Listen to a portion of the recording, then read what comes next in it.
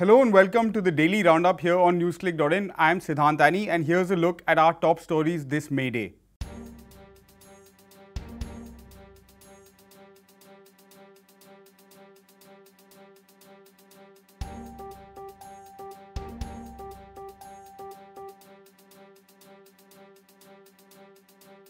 This Labour Day, a former worker who's already been dismissed from his job with the BSF, his plight has been brought out once again when the Election Commission has rejected his nomination as a candidate for the Samajwadi Party from Varanasi, where he would stand against Prime Minister Narendra Modi.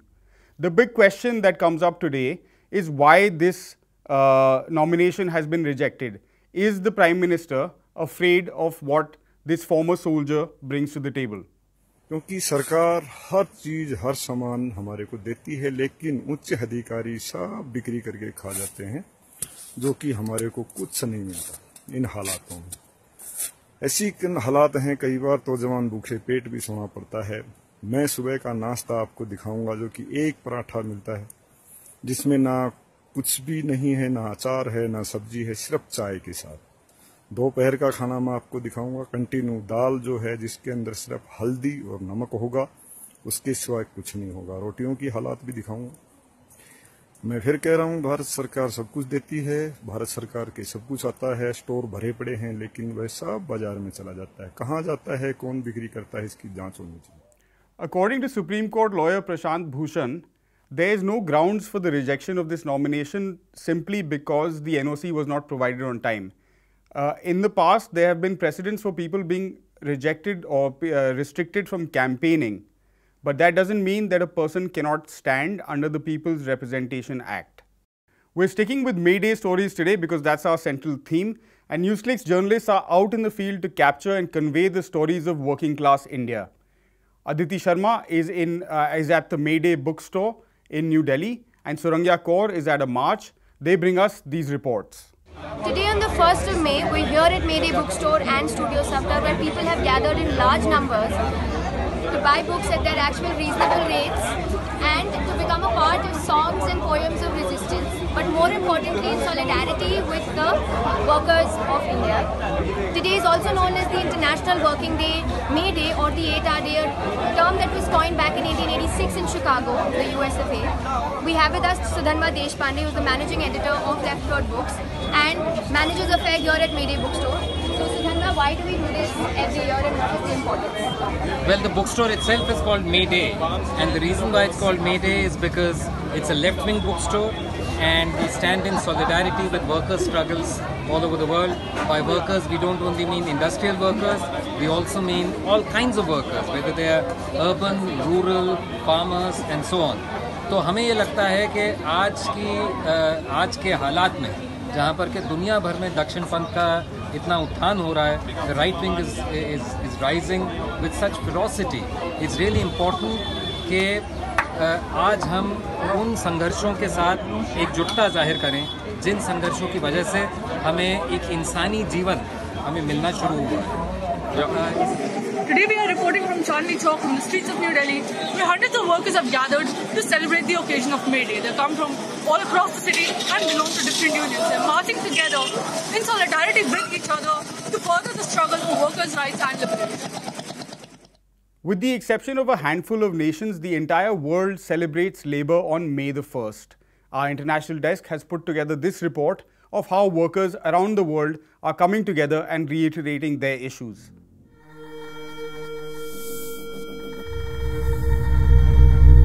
Every year, on May 1st, communist parties, trade unions, and all sections of the working class across the world come together to celebrate International Workers' Day.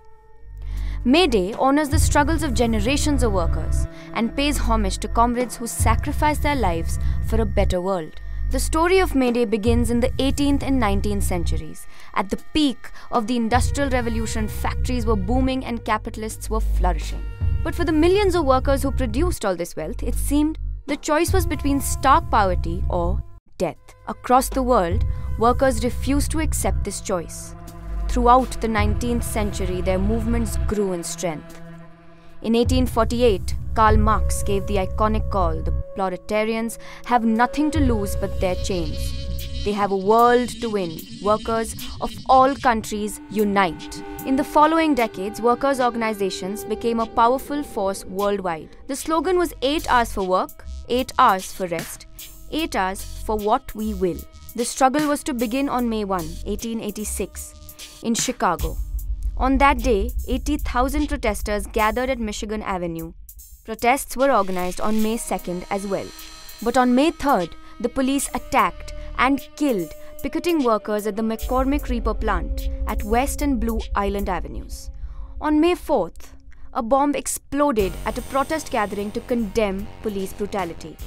Using this pretext, the police opened fire again, killing four workers.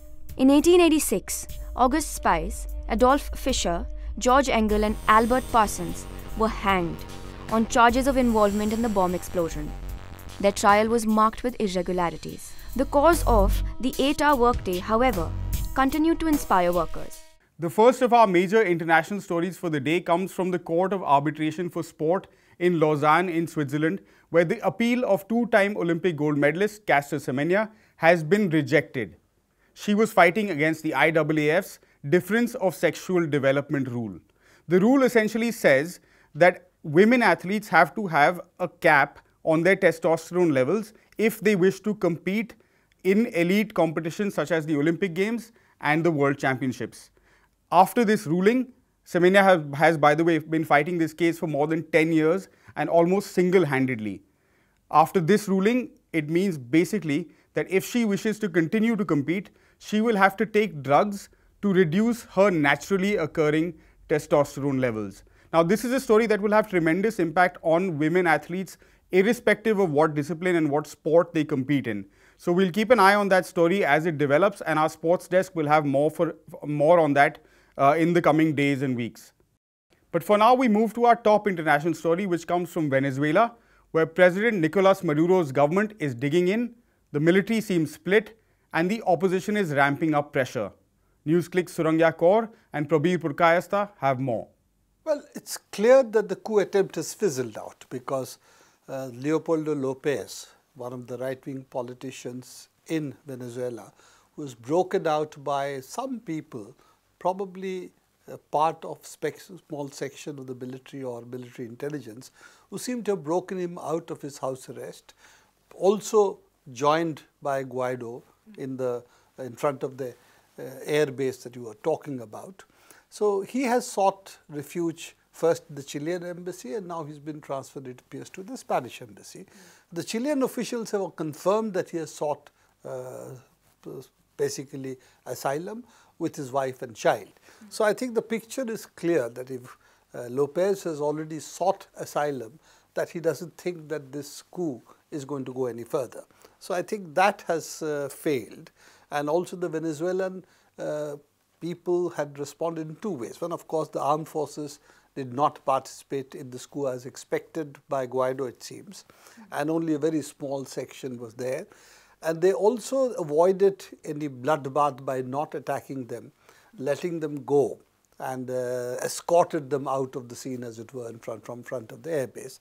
So it doesn't appear that they've also gave any, Uh, shall we say, cause for so-called humanitarian intervention which otherwise might have happened because no country would accept armed people trying to incite a, and a coup against the government in front of a Air Force airbase.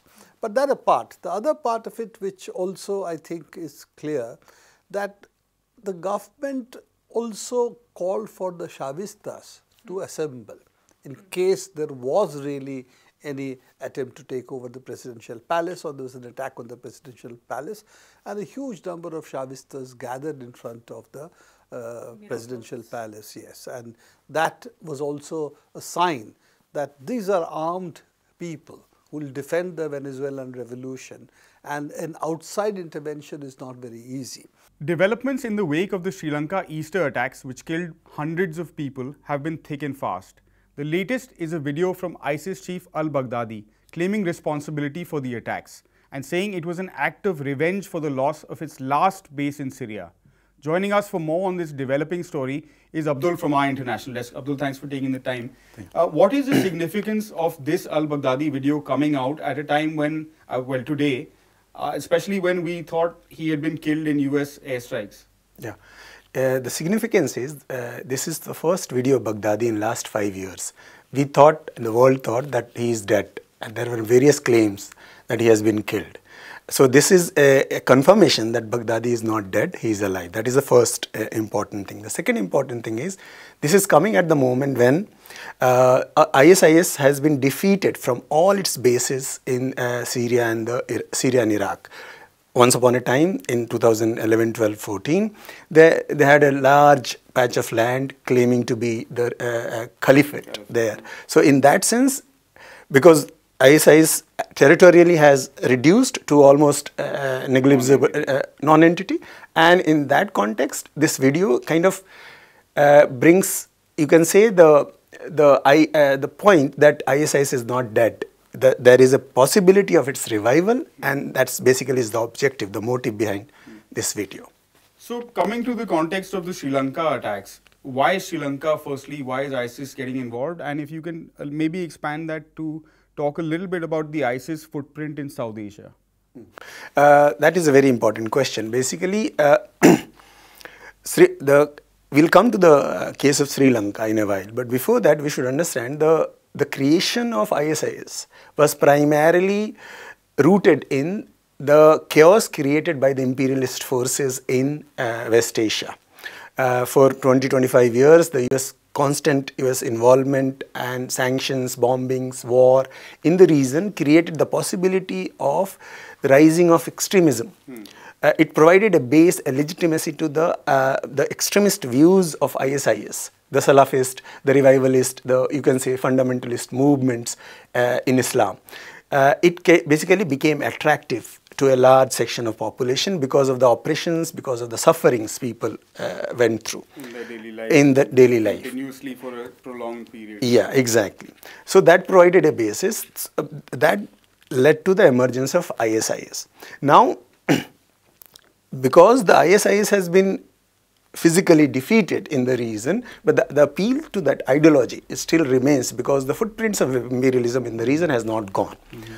And that is one basic, uh, uh, you can say, the the origin, the history uh, of ISIS's origin in the in the region and significance of that event.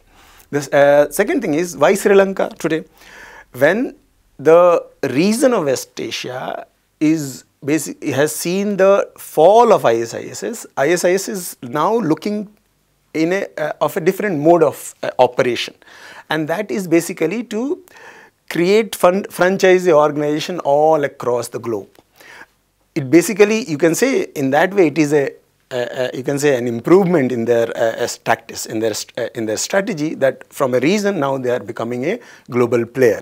But uh, the, the mode of operation, the nature of their activities have changed. Earlier they were doing it physically as a, uh, as a, a, state. They wanted to create a state. Now today they are operating in different parts of the world in different forms. Uh, so that is Sri Lanka is you can say is an attempt to assert ISIS presence in South Asia.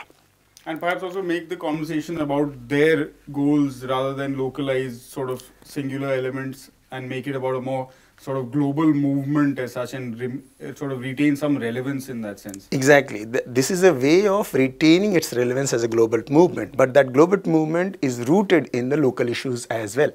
If you see Sri Lanka, uh, the people who were who were found involved, as uh, we can say only only say that because they are all allegedly involved, we don't know whether they're really the culprits of it. But the state has uh, arrested some people, and those people basically has roots in uh, uh, uh, in the complaints against the Sri Lankan society and state.